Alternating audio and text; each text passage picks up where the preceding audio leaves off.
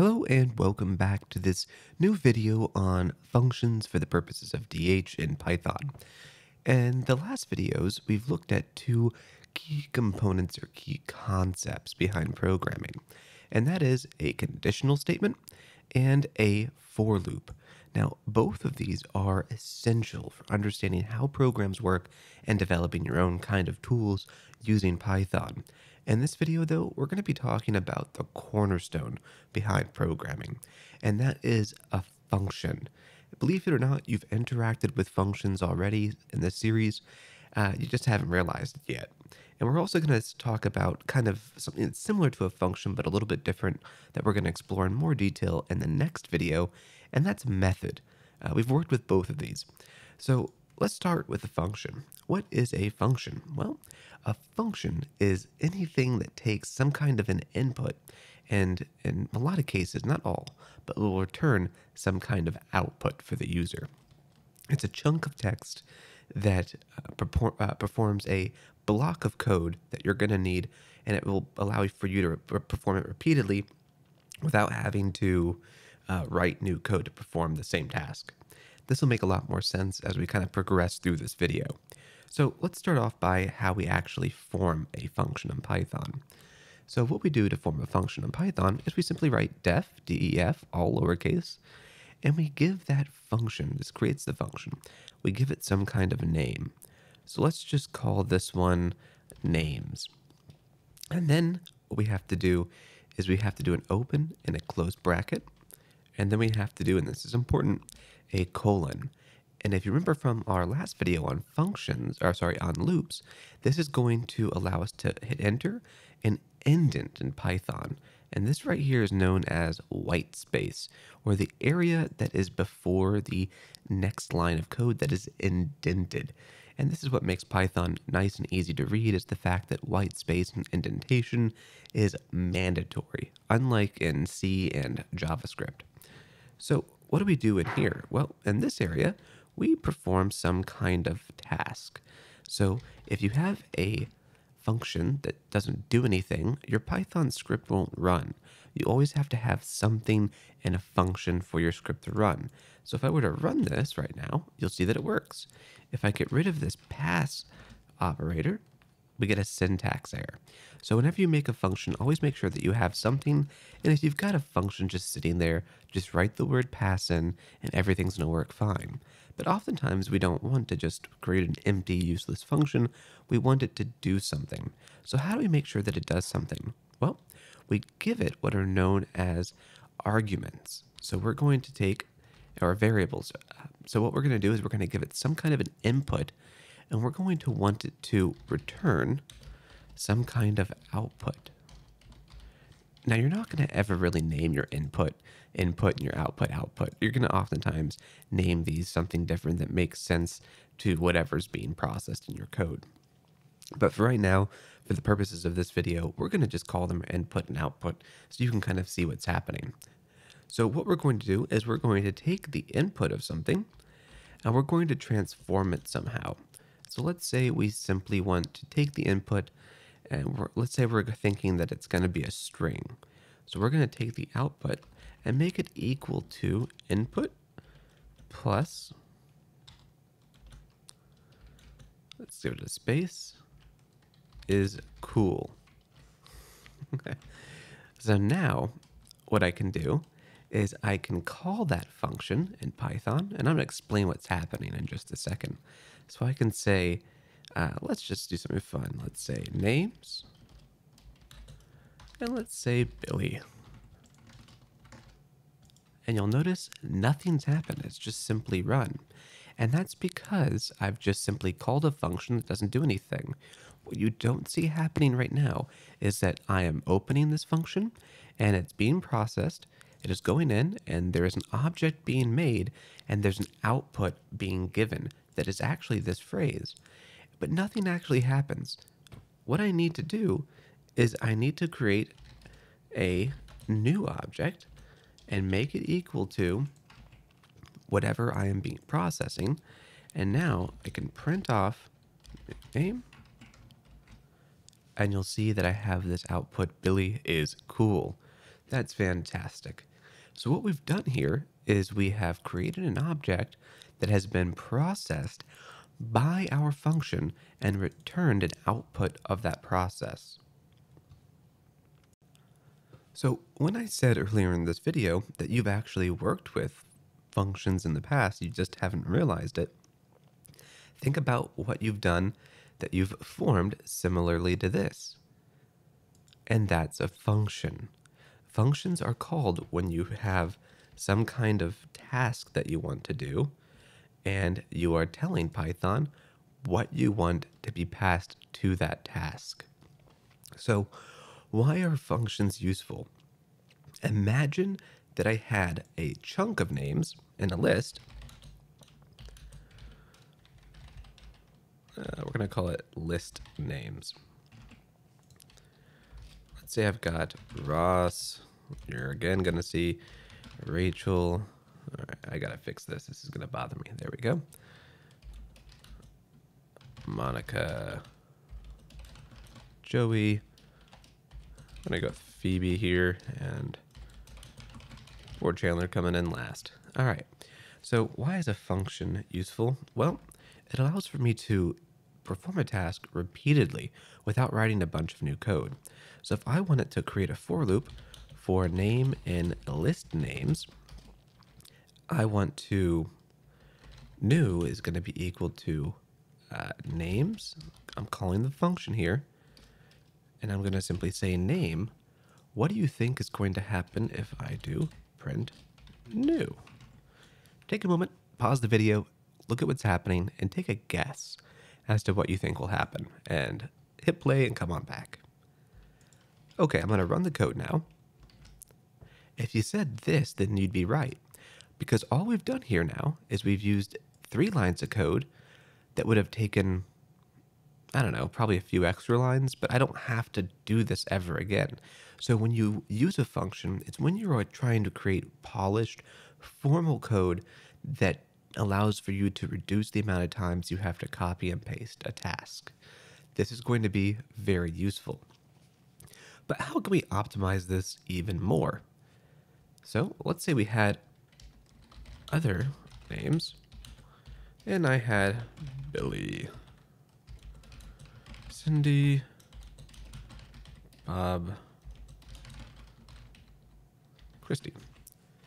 Now, now in order to iterate across this list, I've got to copy and paste this down here and just simply change that to that. And I can do both. I can kind of iterate through both lists. Well, what if I didn't want to have to do that? What if I knew that every time I was working with some kind of input, it was always going to be a list? How could I make sure that that was able to not be repeated every time? Well, what I can do is I can just simply do this.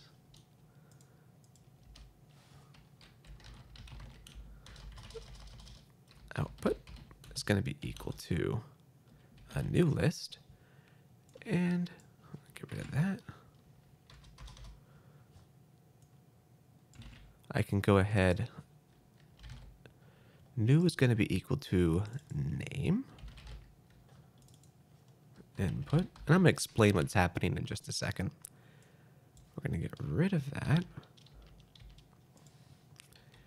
Okay, let me make sure I've got this all right. Output dot append. I'm going to say new. Okay, so let's delete all of this or just comment that out. We don't really care about that.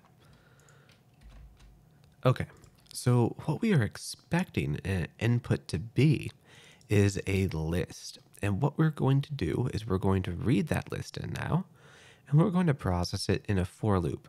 We're going to say that for name and input, so it's going to iterate across that list, new is equal to name plus is cool, just like we saw before, and it's going to append, this is a method by the way, it's going to append the output list and it's going to input it, input append it with this new formatted text, and it's going to return an output. Why is this useful now? Well, I can do this now. New list is going to be equal to list name. Names list names. And now I can print off new list. And now you see that I've got all of these things formatted that way and less lines of code. And if I need it to do this twice uh, for this other names, you can see I've drastically reduced what was, I don't know, six lines of code down to simply uh, four. But you can see why this is useful. This will allow you to do this. But what happens now if I were to pass in, let's just say Jeff is going to be equal to Jeff, and not, or let's just say name. There we go. Uh, what if I were to pass in simply name? Print off new list. Oh.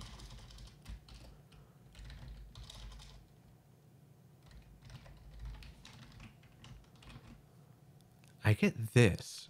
This is a bad output. I get J is cool, E is cool, F is cool, and F is cool. What has happened here?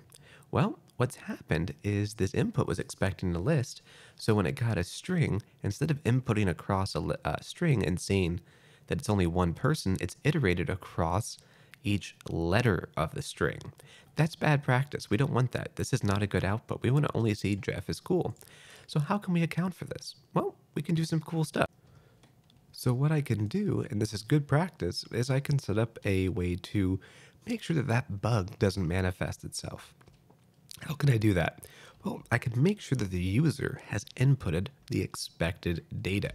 So I can simply use a conditional statement. If type, and this is going to check, check and see the type of object that is happening. If type and tell it what you want to look at. Input is list.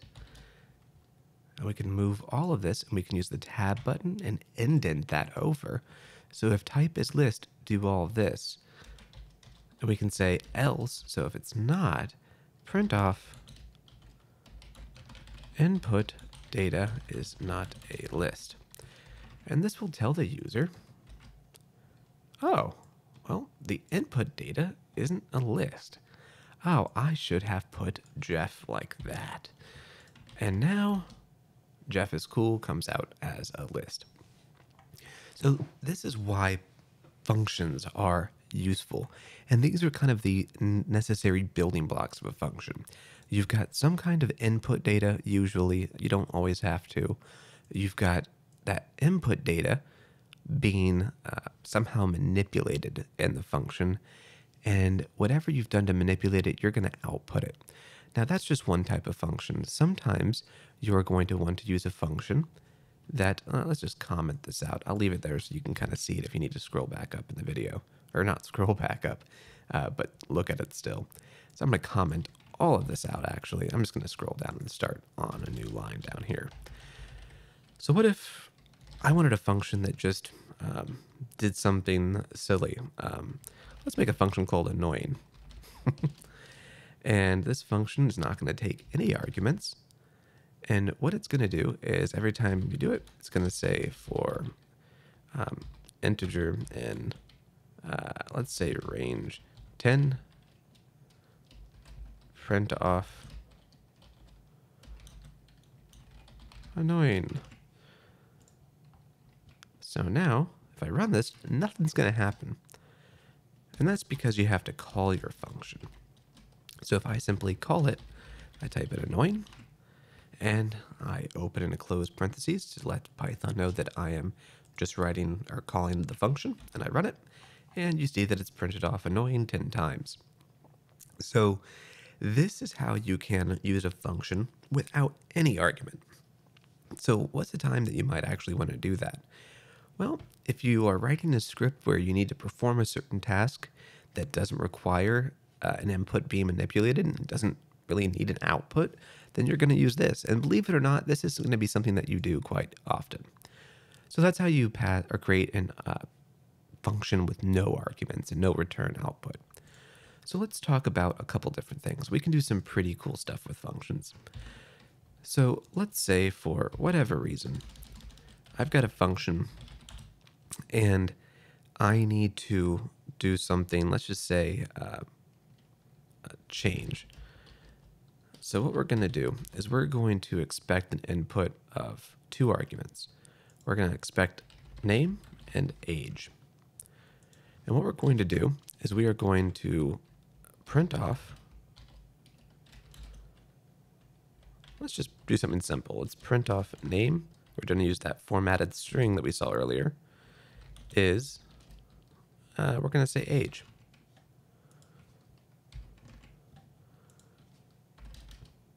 Cool. So uh, in this scenario, we're going to say name is equal to, and we're just going to create a list. We're going to do something a little different in a second. So we're going to make a list, and this is going to be Jeff. And we're going to say 22.